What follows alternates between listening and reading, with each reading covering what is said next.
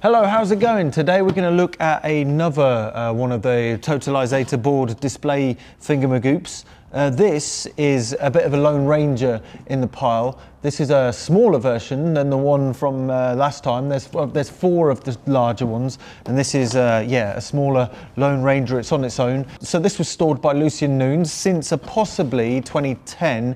Uh, Paul, LPBK, is a YouTube channel uh, talking about uh, telephone exchange stuff. Well, um, he sent me an email that was sent in 2010 to the Telecommunications Heritage Group. Um, uh, about uh, the idea of this being tried, somebody trying to find somebody to take over the totalizator. It doesn't strike me as actually being fully complete from this from this mention, but there are, like I mentioned, other parts of the totalizator, uh, the actual computer aspect of it that I'm yet to go and get. I don't know when I'm going to be going and getting it. I have, the, you know, these are the only bits and bobs that I've got so far, and it's been a while. We'll see. We'll see. We'll wait and we'll wait and see. But it's from the Perry Barr Greyhound Stadium in Birmingham.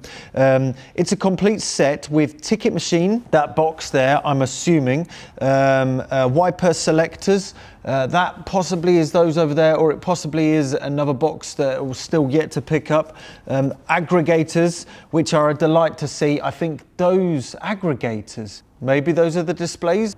All gear, wheels and electromagnetic latches, flaps, control relay sets, circuit diagrams, etc., etc. Anyone who has an interest in electromechanical stuff will love this. Well, I think, we think that this might be the totalizator and Lucien picked up and yeah, hopefully it's all still where it's supposed to be. So when we get it, we could possibly wire it all together in some sort of realm or to talk to the displays. Uh, this, remember this email was from 2010. Uh, I have contacted four museums who have declined to take it because of either lack of space or interest. Oh, bloomin' Currently stored in Gloucestershire.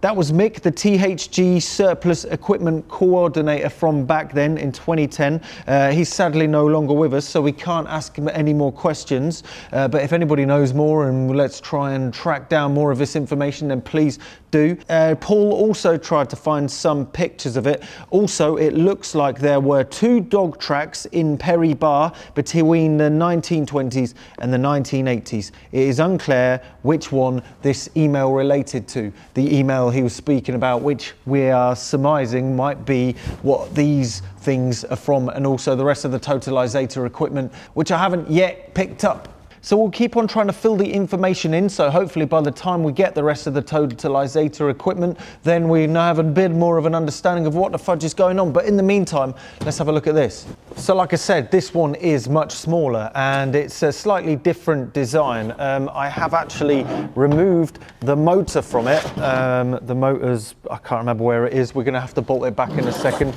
But if I move the uh, display around, I, it has to be viewed a little bit differently or it's a bit hard to see what's actually going on.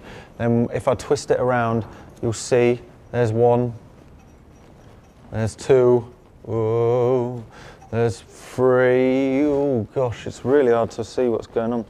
Um, it's a bit hard to see. it needs a bit of adjustment. Yeah, that is free. That is free. Oh, there's there's four. There's five. There's six. Ooh, six. Yeah, that's not meant to move. There's seven. Eight. These are all a little bit, need a little bit of adjustment. Just slightly. And whenever you touch them, they go out of adjustment as well. There's nine. And there's zero and we're going to go back to nothing. As you can see, if you view it from the top, well, you're not going to have much luck trying to figure out what is going on. But the idea is, is this is on a board quite high up, so you're viewing it from sort of from an angle of that. So it's not really an issue. Uh, uh so it is different to the larger ones because the larger ones literally flip backwards. These ones just flip up. So if you are a giant that is taller than the board, then you're not going to have much luck deciphering what it's actually trying to say. Well, um, the issue was that the the motor wasn't working to start with. Um, I have dismantled it and I found that one of the springs, one of the brushes, which are here, if we try and remove one, one of the brushes was being a bit iffy. It was getting a bit sticky and wasn't pulling in further, but uh, with a bit of a clean uh, and a bit of a shine, then that was it. In fact, that's, uh, that's the other one. So There's the brush from it. Plop that back in, push it right on down. Well, now this motor actually works if we put the uh, 24 volts through it. So grab this, plop this on her. You can see that, can't you? Right. It's actually quite a nice motor. So we're going to put this back together really quickly and then we're going to figure out everything else. So there was, um, there was a mount, there was something that sat on top of it that latched down these two wires. Right, so that mount sits on there and then this goes, actually, not yet. We're gonna have to put the cover onto the back of the motor for which covers up the springs, uh, the, the brushes, sorry. So um, just shove that in here. Oh, does that go around the other way? It goes around the other way. Only one screw because there was only one screw here. I have a feeling something it's bit since this has been non-running. It's been it's been fiddled with, but one of the screws, uh, because of difficulty to access it, uh, was missing. But gosh knows when that was. But who knows? Right. So there we got we got the motor back together. Let's just double check it wasn't any of that stuff that was causing it to short or something. So just plug this. Right, still working, that's good. So we might actually be able to see it doing its thing. So this goes, this motor goes over here. I don't know where the wires for the motor go yet. In fact, it looks like it's been, there's a couple of snipped wires, black and red. I will assume that these actually connected to the motor, but somebody's wanting to see what was going on at some point, like us right now in this video. So, um, going to put this back together. So we're going to bolt it back onto the cog, get it back on the gear, and we'll see it running in all of its glory.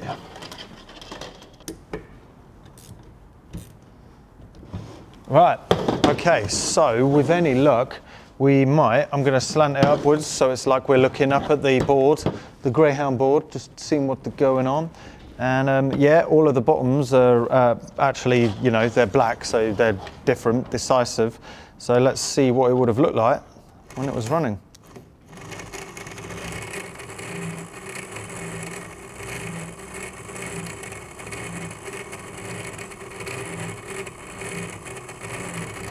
Uh, so as you see, some of these don't really want to work as well as they should. Um, the fact is, and this will, we'll have a look at the mechanism in a sec when I get it over to a number. Oh dear. Okay, so we got it at one. It takes a little bit more fidgeting because the actual adjustments of these are all down to the cams that are around the back. So this is the first side that you see. This is the um, this is the cam. And as you can see, there's um, all of the all of the shapes of the that, that make the uh, levers move in when that number's called up. So um, let's just turn it on really quickly. Ooh, you can see the cam moving from this side. We'll do a whole rotation.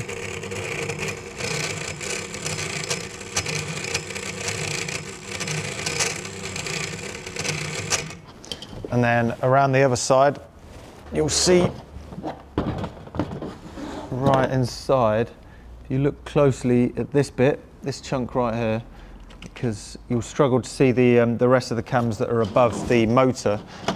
It was also handy to have the motor out so we could uh, clean and make sure they were all free and loose, which took a little bit of a moment for me. Right. Oh no, I've got to keep it out.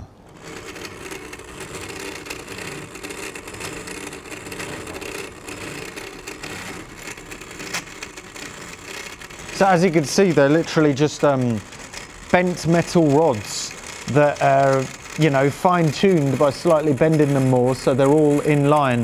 It's a little bit of a finicky job, but um, it's just a, it's just a different, different design of, um, of display.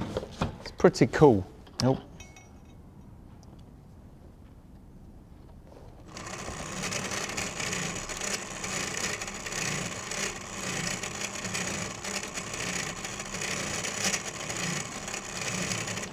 These ones don't want to go as down as far. So we're going to get to seven and we're going to try and adjust them a little bit, or one of them that needs it. Let's get to it.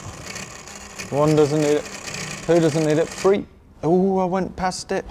We can go back just a little bit. Right, so these need adjusting slightly. So what we're going to do is we're going to, right, like that. This should be better. Amazingly enough, I've just noticed both of these, these two top ones, are actually on the same, the same cam because they must only be used at the same time. So it's this, this top cam. So when that gets pushed up, they get sent up. That's a little bit better. So that would explain why both of them are not working the best they are, they can be. But you still get an idea of the numbers this is another thing. There's two here that are not used because none of the numbers actually require these two pins. It's the same on the big ones. There's just there's just nothing there. It's it's just pretty good. And yeah, that's really cool that both of these actually connect to the same cam. Uh, the idea with this one is it's going to be wired in as a demonstration at the museum. The next video on this will be showing uh, how we're going to I'm going to do this. Um, the idea is going to be, it's going to know where it is because it has this on top of it. This shows it where it actually is in its motion, like a servo or something. There we go. So as you can see, it spins around. This is a number, this is a blank space. So when we get to, let's get to two. I keep on jumping past them. This is two, so one, two, three, four, five, six. Uh, this is the common connector. There's two sets of wipers that connect to two rows of these switches. So it's just like a uniselector assembly. This obviously tells whatever it's connected to via this, which is the same connector as in the other displays, which has got a lot in common with the connectors in telecommunications. No, I'm not going to do that right now. So hopefully we're going to find the connectors that this connect to. Hopefully that's directly to the, um, the, the, the selectors from the Totalizator computer, which is hopefully in the boxes that are still being stored for the Totalizator board. We'll, we'll, we shall see. But you never know, there might be more of these. We just don't know yet. We've got to go and have a look. But when that is, I do not know. But for now, let's just appreciate this display for what it is. Come on.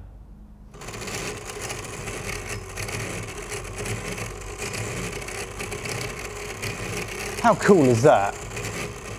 So yeah, we're gonna have a think about how to use this one because the other ones are matching. We're gonna wire those actually in the totalizator. This one, possibly not so because it's just a Lone Ranger right now. So maybe it might be 10 buttons, you push it, it will find itself and go over to there thanks to the path selector down here.